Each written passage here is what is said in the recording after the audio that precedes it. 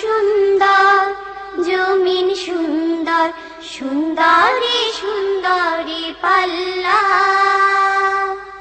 জানি না কত সুন্দর তুমি আল্লাহ। আসসালামু আলাইকুম ও ওরহমতুল্লাহ ওবরকাতু আলহামদুলিল্লাহ আলহামদুলিল্লাহ রবিল আলমিন ওসালাতু ওসালামু আলা সঈদুল মুরসালিন। প্রিয় ভাই বোনেরা যে যেখান থেকে বসে আজকে আমাদের এই অনুষ্ঠান দেখছেন, সবাইকে শুভেচ্ছা জানিয়ে শুরু করছে আপনাদের প্রিয় অনুষ্ঠান জীবন জিজ্ঞাসা উইথ এনটিভি। শুরুতেই সুক্রিয়া জ্ঞাপন করছি মহান রাবুল আলমিনের দরবারে, যিনি আজকে আমাদেরকে আবার আপনাদের এই প্রিয় অনুষ্ঠান শুরু করার তৌফিক দান করেছেন, পড়ছে আলহামদুলিল্লাহ। সাথে সাথে দূরত পেশ করছি আমাদের প্রিয় নবী হজরত মোহাম্মদ সাল্লাহ সাল্লামের উপর। প্রিয় ভাই বোনেরা, আপনারা জানেন যে আপনাদের এই প্রিয় অনুষ্ঠানকে আমরা এভরি এক সপ্তাহ পর পর আমরা এই অনুষ্ঠানকে নিয়ে আসি। আমাদের সাথে একজন অতিথি থাকেন। আজকে আমাদের এই অনুষ্ঠানে আমাদের সাথে অতিথি হিসেবে আছেন আপনাদের সবার প্রিয় মুখ, বিশিষ্ট ইসলামী চিন্তাবিদ, বিশিষ্ট আলেমী দিন শেখ আহমদুল্লাহ, যিনি সাবেক দায়ী Dammam, West Dammam West Dammam Islamic centre এবং যিনি আসন্দা ফাউন্ডেশনের চেয়ারম্যান এবং পাশাপাশি তিনি খতিব হিসেবে দায়িত্ব পালন করছেন ভূমিপল্লী মসজিদের নারায়ণগঞ্জ। সেই অতিথি আজকে আমাদের সাথে সুদূর বাংলাদেশ থেকে জয়েন করেছেন। আমরা চলে যাচ্ছি আমাদের প্রিয় অতিথির কাছে। আসসালামু আলাইকুম রহমতুল্লাহ আসসালামু রহমতুল্লাহ কেমন আছেন ভাই? জি আল্লাহ মেহরবানি আলহামদুলিল্লাহ আল্লাহ তালা ভালো রেখেছেন আল্লাহ দেখতে দেখতে আমরা তো আসলে রমজানের একদম শেষ পর্যায়ে চলে আসছি। আজকে আমাদের এখানে আমরা ছাব্বিশতম রমজান পালন করছি এবং আজ রাত আমাদের সাতাশতম রাত হবে আমরা আজকের কদরের রাত হবে। একদম শেষের দিকে আমরা আসলে যেন মনে হয় যে চোখের পলে কি আসলো এবং চলে গেল। হ্যাঁ এখন আমরা আসলে আমরা জানি না যে আমরা কি পরিমাণ আমল করতে পেরেছি আমরা এই রমজানের যে হক আমরা কি পরিমাণ হক আদায় করতে পেরেছি এটা আসলে আমরাই ভালো জানব এবং আমরা যদি আমাদের নিজেদেরকে প্রশ্ন করি তাহলে আমরা প্রত্যেকেই আমরা আনসার পাবো।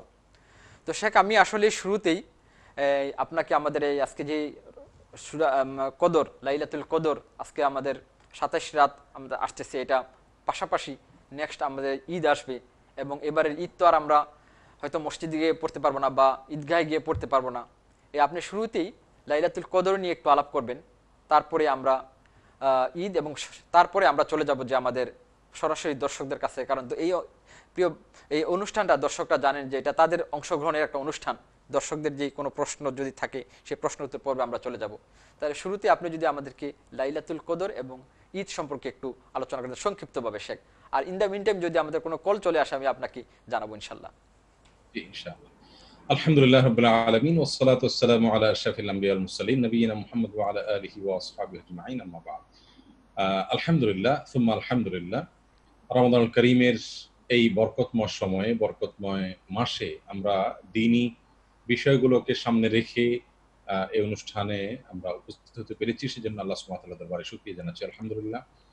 সেই সাথে সবে কদর সম্পর্কে, লাইলাতুল কদর সম্পর্কে আপনি কিছু কথা বলার জন্য বলেছেন। লাইলাতুল কদরের ফজিলত এবং মর্যাদা জন্য এটাই যথেষ্ট যে এই একটি রাতকে কেন্দ্র করে কোরআনে একটি সূরা নাজিল হয়েছে। আমরা জানি কোরআনে কারিমে একটা সুরাই আছে, সুরাতুল কদর নামে, ইন্না আনসালনাহু ফি লাইলাতুল কদর। আল্লাহ ওয়া কোরআনের মতো এই মহাগ্রন্থকে, এই বিশাল বড় সম্পদ আমাদেরকে মুসলিম মিল্লাতকে দান করার জন্য যেই সময়টা নির্বাচন করেছেন, সেটি ছিল এই কদরের রাত, অর্থাৎ লাইলাতুল কদরই আমাদেরকে কোরআন নাজিল করেছেন আল্লাহ তাআলা আমাদের জন্য এবং বলেছেন, ইন্না আনসালনাহু ফি লাইলাতুল কদর। আমি নিশ্চয়ই এই কোরআনকে নাজিল করেছি লাইলাতুল কদরে কদরের রাতে। তাহলে কদরের রাতের মর্যাদা এবং ফজিলত এই দুটি বিষয় থেকে আমরা বুঝতে পারি। কদরের রাতের ইবাদতের মর্যাদা প্রসঙ্গে আল্লাহ সুবহানাহু নিজেই বলেছেন, লাইলাতুল কদরে খায়রুম মিন আলফি শাহর। হাজার মাস ইবাদত করার চাইতে লাইলাতুল কদরের ইবাদত অধিক উত্তম। হাজার মাসের ইবাদতকে একত্র করলে হাজার মাসে তিরাশি বছর চার মাস হয়, এক হাজার মাসে। তো আল্লাহ সুবাহানা হাত তাআলা এইখানে হাজার মাস ইবাদতের চাইতেও উত্তম বলেছেন। অর্থাৎ তিরাশি বছর চার মাস কেউ যদি ইবাদত বন্দেগি করে, তার চাইতেও উত্তম হবে, সেটা কত, সীমানা কোথায় গিয়ে থামবে সেটা একমাত্র আল্লাহ ভালো জানেন। তাহলে সেখান থেকে আমরা বুঝতে পারলাম, এই রাতটি একজন মুসলিমের জীবনের ইবাদতের জন্য শ্রেষ্ঠতম রাত, শ্রেষ্ঠতম সময়। যার কারণে মুসলিম মাত্রই লাইলাতুল কদর ইবাদতের জন্য সচেষ্ট থাকবেন। কিন্তু লাইলাতুল কদর কোন রাতে হয়? এটা নিয়ে আমাদের অনেক বোঝাপড়ার এবং জানাশোনার মধ্যে ত্রুটি বা ঘাটতি রয়েছে। সে বিষয়ে আমরা বলতে চাই, লাইলাতুল কদর মূলত রমাদানের যে কোনো রাতে হতে পারে, বিশেষ করে রমজানের শেষ দশকে হতে পারে আরও বিশেষ করে বেজোর রাতগুলোতে হতে পারে। লাইলাতুল কদর প্রসঙ্গে রসুল করিম আলাইহি সাল্লাম বলেছেন তাহারু লাইলাতুল কদরে ফিল আশিল রমাদান। রমাদানের শেষ দশটি রাতে তোমরা সবে কদর পাওয়ার আশায় এবাদত বন্দি করো। আল্লাহ তাআলা তার মধ্যে কোনো একটা রাতকে লাইলাতুল কদর হিসেবে নির্বাচন করবেন। তোমার এবাদত যদি আল্লাহ নির্বাচন তো সেই লাইলাতুল কদরে হয়ে যায়, তাহলে তুমি লাইলাতুল কদর ইবাদত করতে পারলে এখানে ফিক্স করা হয়নি যে নির্দিষ্ট করে অমুক রাতই লাইলাতুল কদর চূড়ান্ত ভাবে যেমনটি আমরা মনে করি সাতাইশতম রজনী রমজানের বা সাতাইশে রাত, এটাকে আমরা লাইলাতুল কদর মনে করি, এটা আমাদের ধারণা।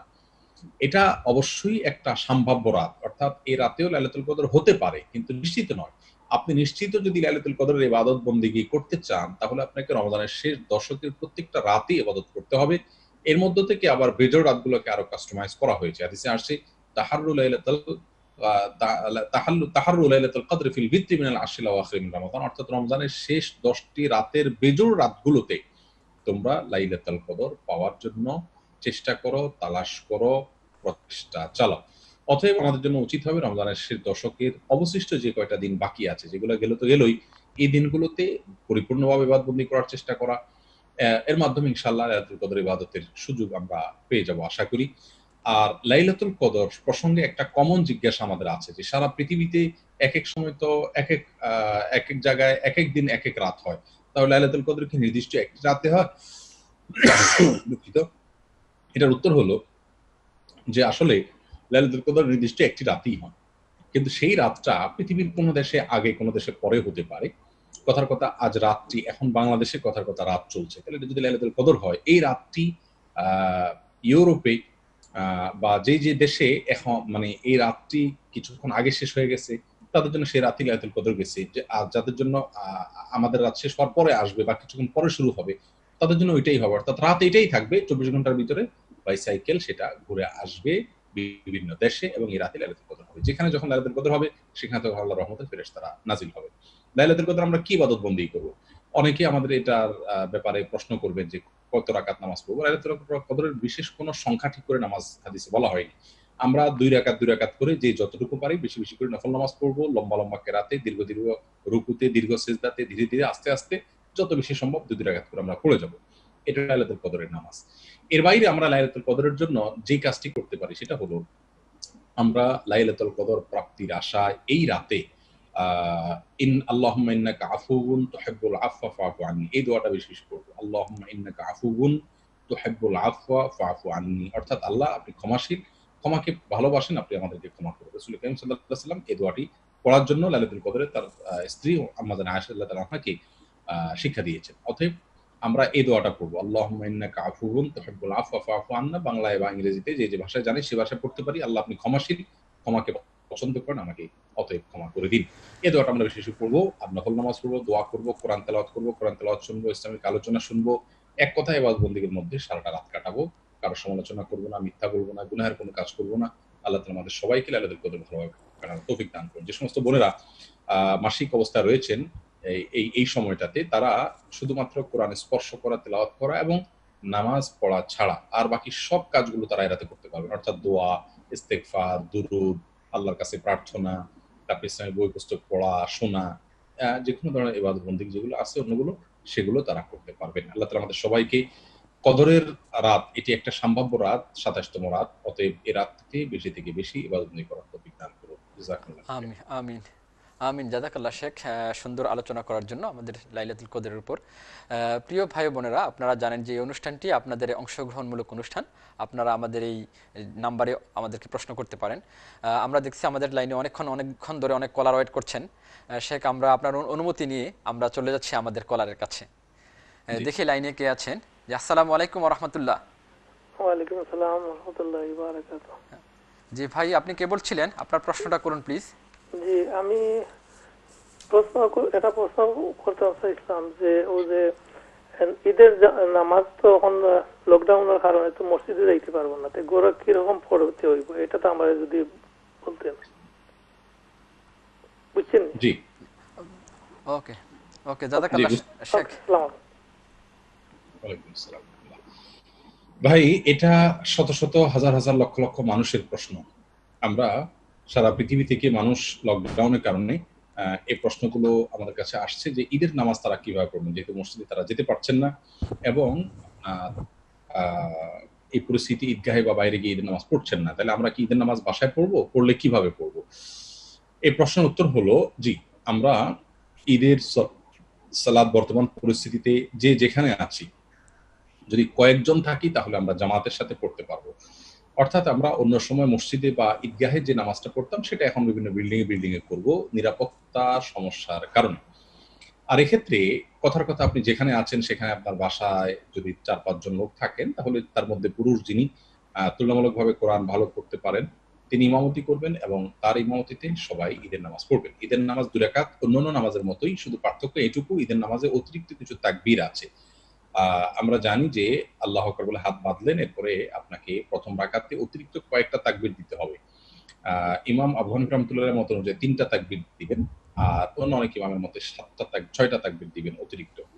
তাহলে সেক্ষেত্রে আল্লাহ আকবর বলে হাত বাঁধলেন, এরপরে আরও অতিরিক্ত কিছু তাকবীর দিবেন। দেওয়ার পরে আপনি সুরা পাতে অন্য সুরা মিলায়া রুকুতে যাবেন, রুকু থেকে উঠলেন সেজদা গেলেন সেজদা করে দাঁড়ালেন। দ্বিতীয় রাকাতের শুরুতে, আহ, তাকবীর নয়, শুরুতে সুরা ফাতিহা পড়বেন, আরেকটা সুরা মিলাবেন। এরপর রুকুতে যাওয়ার আগে আবার অতিরিক্ত যে তাকবীর প্রথম রাকাতে দিয়েছেন সেভাবে দ্বিতীয় রাকাতে দিয়ে তারপরে আপনি দ্বিতীয় রাকাতেও শেষ করবেন, সালাম ফিরে বাস, এখানে কোনো খুতবার প্রয়োজন নাই। অর্থাৎ এভাবে বাসার বাড়িতে আপনি আদায় করলে খোদবার প্রয়োজন নাই। খোদবা নিয়ে আমাদের অনেকের সংশয় আছে যে আমরা খোদবা দিতে পারি না। প্রথম কথা হলো ঈদের নামাজের খোদবা এটা ওয়াজিব না, সুন্নাত। না দিলেও নামাজ হয়ে যাবে, কোনো সমস্যা নেই। আর দ্বিতীয় কথা হলো এই পরিস্থিতিতে এরাবিন স্কলারদের মত হলো খুতবা দেওয়ার প্রয়োজনই নেই, খুতবা দিবেনই না। কারণ আমরা জানি বুখারিতে আসছে, আনাস আনহু একবার ঈদের নামাজ পাননি, বাসায় এসে তার পরিবারের লোকদেরকে নিয়ে তিনি ঈদের সালাতের আয়োজন করেছেন, তিনি খুতবা দেননি। তো পুরো বিষয়টাকে আমরা সংক্ষেপে আবারও বলতে পারি, যারা কয়েকজন আছেন কোনো জায়গায়, তারা সেই কয়েকজন ঈদের নামাজ পড়বেন। তবে একটু উন্মুক্ত জায়গা যদি ছাদে গ্যারেজে একটু উন্মুক্ত জায়গা পড়তে পারেন, তাহলে বেশি ভালো। কিন্তু ঈদের নামাজ আপনি যার যার জায়গা থেকে জামাতের সাথে আপনারা করে নেবেন, ইনশাআল্লাহ। যদি কেউ এমন জায়গায় থাকেন যেখানে জামাত করার মতো কেউ নেই শুধু স্বামী স্ত্রী দুজন আছেন, জুমার শর্তগুলো এখানে প্রযোজ্য, দুজনে হবে না। তাহলে সেক্ষেত্রে আপনার, আপনারা কীভাবে আদায় করবেন? আপনারা সেক্ষেত্রে ঈদের নামাজ বা জামাতে আদায় করবেন না, বরং আপনারা চাষতের নামাজ, দুই রাকাত দুই রাকাত করে চার রাকাত নামাজ পড়লেন বা দুই রাকাত নামাজ পড়লেন, দুই রাকাত পড়লেও হবে, চার রাকাত পড়লেও হবে। আপনি এটা চাষ বা শাকের নামাজ হিসাবে পড়ে নেবেন।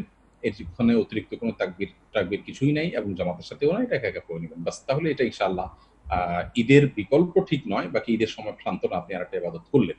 এটা যদি কেউ একাকি থাকেন আর কয়েকজন থাকলে আপনারা জামাতের সাথে ঈদের নামাজ পড়ে নেবেন জি। জাজাকাল্লাহ শেখ আমরা চলে যাচ্ছি আমাদের নেক্সট কলারের কাছে। দেখি লাইনে কে আছেন। আসসালামু আলাইকুম রহমতুল্লাহ। হ্যালো আসসালামু আলাইকুম রহমতুল্লাহ বারকাত ওয়ালাইকুম আসসালাম রহমতুল্লাহ বারকাত জি ভাই আপনার প্রশ্নটা করুন প্লিজ আশা করি ভালো আছেন। আর আমি আমার প্রিয় শাহকে দেখিয়া খুব খুশি হয়েছি আর আমি ওনার সাথে যে মাত্রাম একটু লাগে আমি নিজেরা আসার জন্য মনে করলাম। আমি ওনার প্রোগ্রাম সবটি দেখি ইউটিউবে আমরা তো লন্ডনে থাকি জানেন আর ওনার বাংলাদেশে। আলহামদুলিল্লাহ আমি অনেক অনেক কিছু শিখি ওনাদের প্রোগ্রাম থেকে। আজকে মাত্রাম পারলাম এই জন্য দোয়া চাই আপনার কাছে সবার কাছে আমার প্রিয় শাহের কাছে ইনশাআল্লাহ আমরা জন্য দোয়া করবেন। আমার আমার প্রশ্ন হইল যে আহ, ফিতরা সম্বন্ধে জাস্ট ছোট একটা কোয়েশ্চেন করতাম আমার শায়েখের যে আমি আমার এই সাসাত্ত ভাই কোনো কাম কাজ নাই তারা আজকে তিন, চার মাস ধরে আরে তার কোনো ইনকাম নাই, কাম করিতে খায়, কি এরকম তারে কি আমি চিত্রা দিতে পারব তার ফ্যামিলি আছে, বাচ্চা আছে, কোনো ইনকাম ইনকাম নাই তারা কাম করে বা আরও সবে সাহায্য করে নাকি সামটাইম যদি বলতেন হইলাম ওকে আসসালামু আলাইকুম। দর্শক আপনি আপনাকে দেখেন সেজন্য আপনাকে ধন্যবাদ জানাচ্ছি কৃতজ্ঞতা জানাচ্ছি ভালো লাগল আমাদেরও আপনার সাথে কথা বলতে পেরে। আপনার প্রশ্ন উত্তর হলো আপনি আপনার ভাই যদি তার সংসারের যে বাচ্চাদের ভরণ পোষণ খাওয়া দাওয়া এগুলো চালাতে কষ্ট হয় তার যে উপার্জন হয় সেটা দিয়ে ভালোভাবে চলে না তাহলে সেক্ষেত্রে আপনি তাদেরকে অবশ্যই ফিতরা দিতে পারবেন কোনো অসুবিধা নেই ইনশাআল্লাহ। বরং আত্মীয় স্বজনকে দিলে আপনার সওয়াব আরও বেশি হবে। ওকে জাজাকাল্লাহ শেখ আমরা আমরা চলে যাচ্ছি আমাদের নেক্সট দর্শকের কাছে। দেখি আমাদের লাইনে কে আছেন? আসসালামু আলাইকুম রহমতুল্লাহ। দর্শককে শুনতে পাচ্ছেন? আপনার টিভির ভলিউমটা একটু কমিয়ে দিয়ে আমাদের সাথে কথা বলতে হবে, তাহলে আমরা আপনার কথা শুনতে পাবো।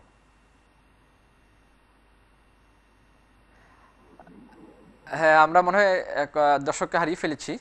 আমরা হ্যাঁ দর্শককে হারিয়ে ফেলেছি। ওকে জাজাকাল্লাহ শেখ আসলে আমরা দেখি আবার পরে হয়তো দর্শক আবার আমাদের সাথে জয়েন করবেন।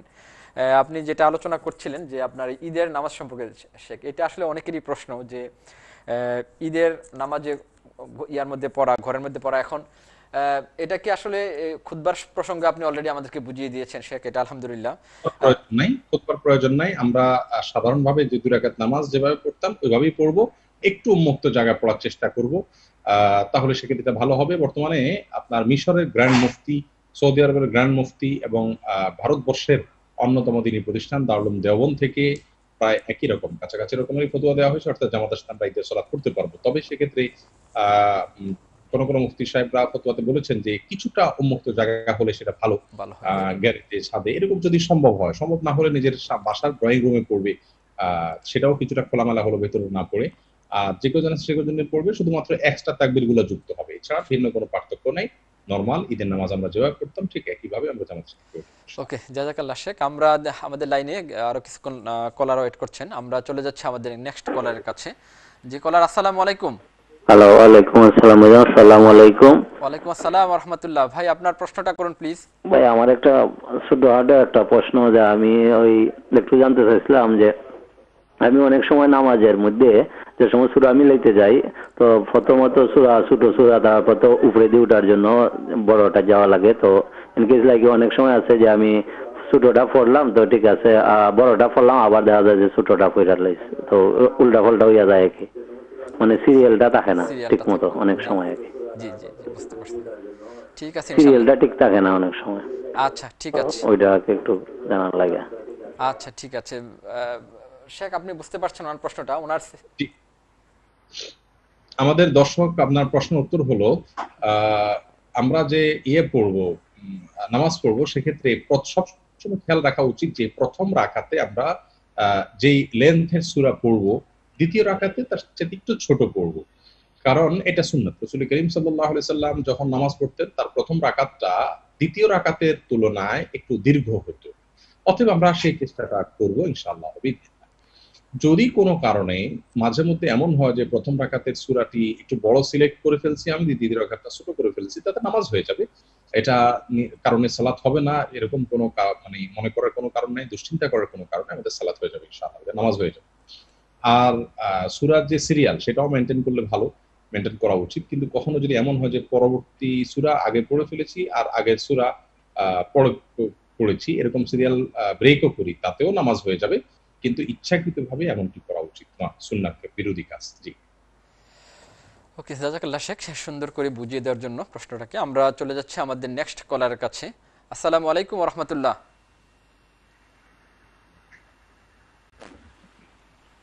দর্শককে শুনতে পাচ্ছেন? জি আপনি আমাকে শুনতে পাচ্ছেন? ওয়ালাইকুম আসসালাম রহমতুল্লাহ। শুনতে পাচ্ছি ভাই যে আপনার প্রশ্নটা বলেন। আমার প্রশ্নটা হচ্ছে আমি আহ, নতুন কোরআন পড়া শিখছি মোটামুটি আর কি অনলাইন থেকে। তো আমি যখন কোরআন পড়তে যাই, মাঝে মধ্যে মনে করেন যেখানে মাদ আছে তাই না পড়তে হয়, সংযোগ শব্দগুলি অনেক সময় এদিক সেদিক হয়ে যায় আমার কোচিং হচ্ছে এটা, যদি আমি পড়ি, এখানে যদি কোনো টান বা মাদ যদি আমার সুইটা জায়গা তাহলে কি আমার গুণা হবে? এক, আর দ্বিতীয় কথা হচ্ছে এখন কি আমি এ- এভাবে যেমন আমরা যেরকম বাংলা থেকে বয়স্ক হয়ে কোরআন পড়তেছি এখন তো হুজুরদের মতো তো আমার কোরআন হবে না আমারটা আমার মতো করে হবে। তাহলে আমি কি করব? এখন কি আমি এভাবে পড়তে থাকব নাকি আমি স্টপ করে দেব? এটাই আমার আমার মনে হয় যে আপনি বুঝতে পারছেন।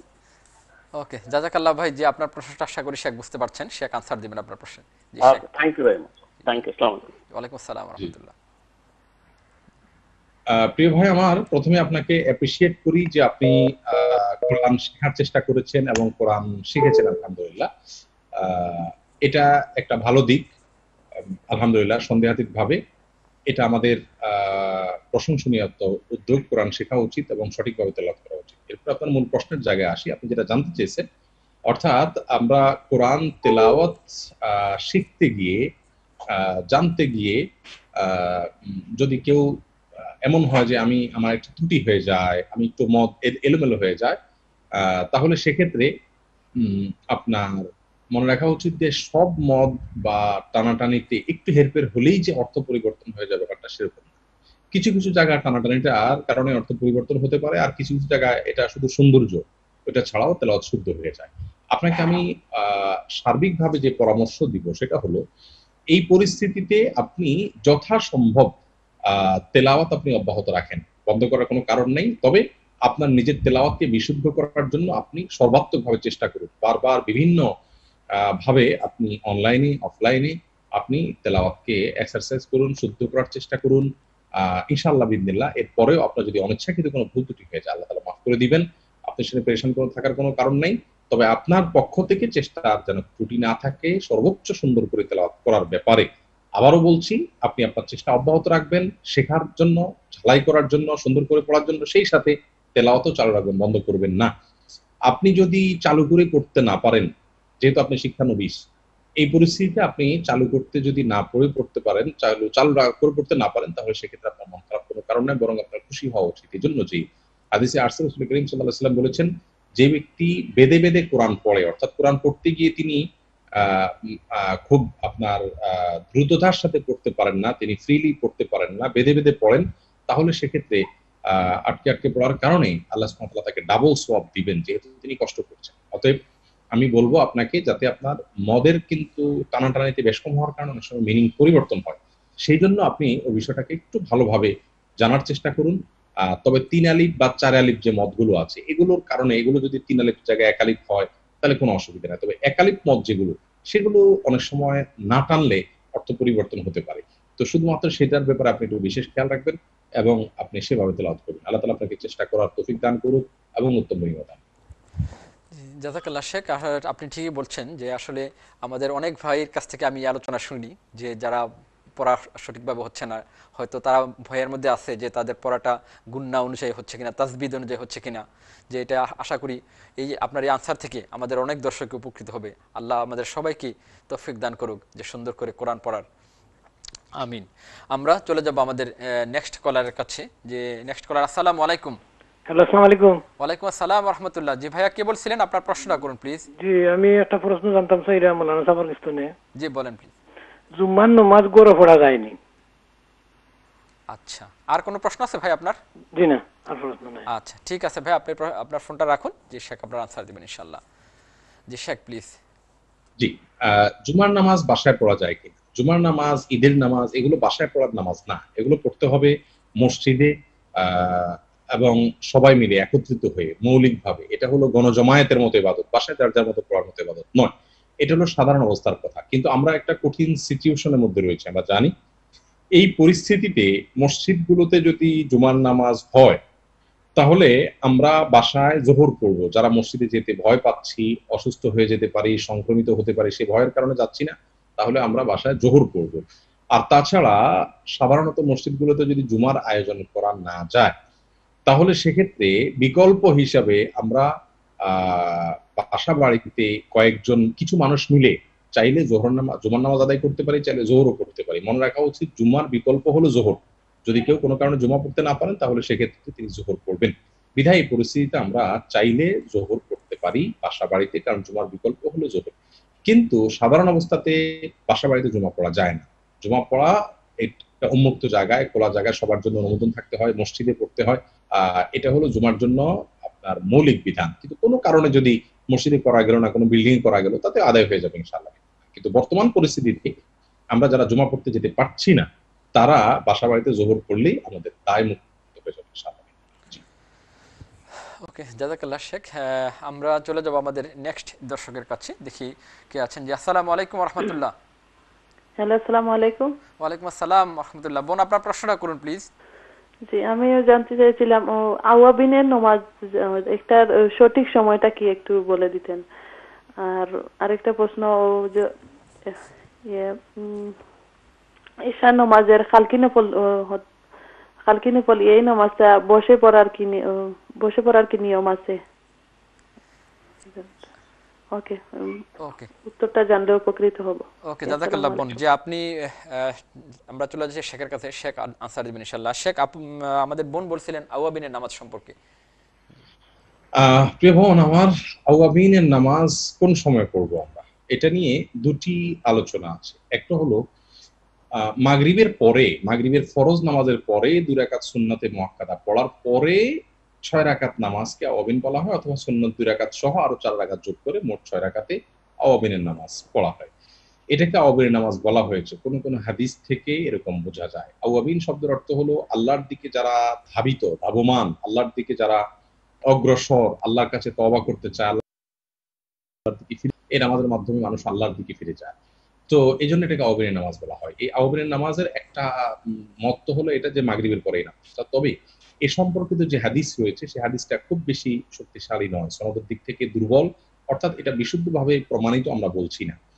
তারপরে হাদিসে আছে, কেউ চাইলে আমল করতে পারেন, কিন্তু এটা অথেন্টিক না সেভাবে। আওয়াবিনের নামাজ সম্পর্কে মূলত সবচেয়ে অথেন্টিক হাদিস যেগুলো পাওয়া যায়, সেটা হলো এটা চাষতের নামাজ যেটাকে আমরা বলি সলাতুদ্দোহা বা চাষতের নামাজ, সেটাই আওয়াবিনের নামাজ। এবং এটা বিশুদ্ধ হাদিস দ্বারা প্রমাণিত, এটাকে সলাতুল আউয়াবিন বলা হয়েছে, অর্থাৎ আল্লাহর দিকে ধাবিত বান্দাদের নামাজ বলা হয়েছে আওয়াবিনের নামাজ। সেটা কোনটা? সূর্য ওঠার পরে আমরা সূর্য ওঠার আরও বেশ কিছুক্ষণ পরে থেকে আমরা যে নামাজটা পড়ি চার রাকাত আট রাকাত যার যতটুকু তৌফিক বলা এই চাষতের নামাজ বা সালাতুদ্দোহা এই চালাত সালাদটাকে মূলত আওয়াবিনের নামাজ বলা হয় সেটা হলো বেশি বিশুদ্ধ। তবে মাগরিবের পরে ফরজের পরে আরও ছয় রাকাত নামাজ পড়লে সেটাকে আওয়াবিনের সালাত বলা হয়েছে কোনো কোনো বর্ণনায়। সেটা ভিত্তিতে অনেক একটা এটাকেও সালাত বলে। তাহলে সালাতের অবিন সম্পর্কে দুটি ধারণা আমরা পেলাম। এটা আহ, যে হাদিস দ্বারা বর্ণিত, সেটি কিছুটা দুর্বল আর একটা হলো সম্পূর্ণ বিশুদ্ধ রূপে এর মধ্যে আমরা বিশুদ্ধটার উপর আমল করার চেষ্টা করব, আর বাকি মাগরিব পরটাও যদি আমরা করি, তাতে গুনাহ হবে না এবং বেদাত হয়েছে এটা মধ্যে বলার কোনো কারণ নেই, কারণ সেটিও হাদিসে রয়েছে। আর বোনের দ্বিতীয় প্রশ্ন হলো, এশার পরে হালকি নফল বলতে কোনো কিছু আছে কিনা, কীভাবে আমরা পড়ব? দেখুন, এশার ফরজ নামাজের পরে দুই রাকাত সুন্নতে মোয়াক্কাদা পড়ার পরে আরও অতিরিক্ত দুই রাকাত সুন্নতে জায়েদা বা অতিরিক্ত এক্সট্রা সুন্নত পড়ার কথা হাদিস থেকে পাওয়া যায়। বাট এই দুই রাকাত নামাজের নাম আপনি যেমন দিয়েছে, বলেছেন, এমনটি নাম আমাদের দেশে অনেকে দিয়েছে। থাকেন এটাকে বলা হয় হালকি নফল। হালকি নফলের অর্থ হলো যে হালকা নফল। তো আসলে কোরআন এবং হাদিসে এরকম কোনো কথা আমাদেরকে বলা হয় হালকি নফল বলতে কোনো কিছু না আমাদের সমাজে প্রচলিত, অনেক আগে থেকে বলে আসছে, চলে আসছে। বাট এটার কোনো অথেন্টিক সোর্স নেই। হালকি নফল বলতে কোনো কিছু নেই। আমরা সুন্নাতে, আহ মোয়াক্কাদা দুই রাকাত, এশার নামাজের পরে পড়ার পরে এক্সট্রা দুই রাকাত নামাজ সুযোগ থাকলে পড়ব, সুযোগ না থাকলে পড়ব এই দুই রাকাত নফল নামাজ, এটাকে একে তো হালকি নামাজ বলা, এটা আমাদের প্রচলন পাক ভারত মহাদেশের, এটা দেশের প্রচলন নয়, এটা না নফল, নর্মাল নফল বা সুন্নত জায়গা নামাজ। আবার সেই সাথে এই নামাজটা বসে পড়তে হবে এমন একটা ধারণাও আমাদের সমাজে আছে, এটাও সঠিক নয়। এই নামাজ বসে পড়- পড়ার জন্য নির্দেশ দেশে কোথাও দেওয়া হয় আহ কোনো কারণে আপনার রসুল করিম সাল্লাহ সাল্লাম অথবা আসলাফ বসে পড়েছেন এরকম কোনো বর্ণনা থাকলে, সেক্ষেত্রে এটা কোনো ওজোর কারণে নকল নামাজ শরীর ভালো লাগতেছে না চাইলে বসে পড়তে পারেন কিন্তু একজন সুস্থ মানুষ পুরো এশার নামাজ দাঁড়িয়ে পড়লেন, সুন্নতটা দাঁড়িয়ে পড়লেন, এটা এটার সময় তিনি বসে পড়বেন, এর কোনো কারণ থাকতে পারে না। আল্লাহ তালা কোরআনে বলেছেন ওয়াকুমুলিল্লাহি অনেতিন তোমরা আল্লাহর জন্য দাঁড়িয়ে আল্লাহর আনুগত্য প্রকাশ করো। বিধায় আমরা সাধ্য থাকলে, সুস্থ থাকলে আমরা এই অতিরিক্ত দুই রাকাত নফল, সেটাও দাঁড়িয়ে পড়াটাই স্বাভাবিক নামাজের মতোই। উত্তম জাজাকাল্লা শেখ, বোন, আশা করি আপনি আপনার প্রশ্নের উত্তর পেয়েছেন। আমরা আসলে সময় হলো আমাদের একটা বিজ্ঞাপন বিরতির। প্রিয় ভাই বোনেরা, আমরা চলে যাচ্ছি একটা বিজ্ঞাপন বিরতি, বিরতিতে। বিজ্ঞাপন বিরতি শেষে আমরা আবার ফিরে আসব আপনাদের প্রিয় অনুষ্ঠানে। ততক্ষণ পর্যন্ত আমাদের সাথেই থাকুন। আসসালামু আলাইকুম ওরহমতুল্লাহ ওবরকাতহ আসমান সুন্দর, জমিন সুন্দর, সুন্দরী সুন্দরী পাল্লা। জানি না কত সুন্দর তুমি আল্লাহ।